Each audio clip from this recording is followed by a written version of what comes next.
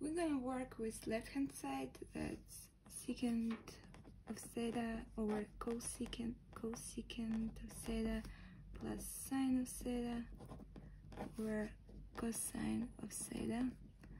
So here we're gonna use trigonometry reciprocal identity that secant of theta equal to 1 over cosine of theta and cosecant of theta equal to 1 over sine of theta. So we have 1 over cosine of theta lower 1 over sine of theta plus sine of theta over cosine of theta. So now we have sine of theta over cosine of theta plus sine of theta or cosine of theta.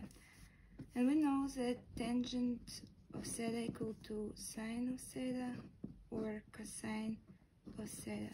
So we have tangent of theta plus tangent of theta equal to 2 tangent of theta. So we get right hand side, hence identity is proved.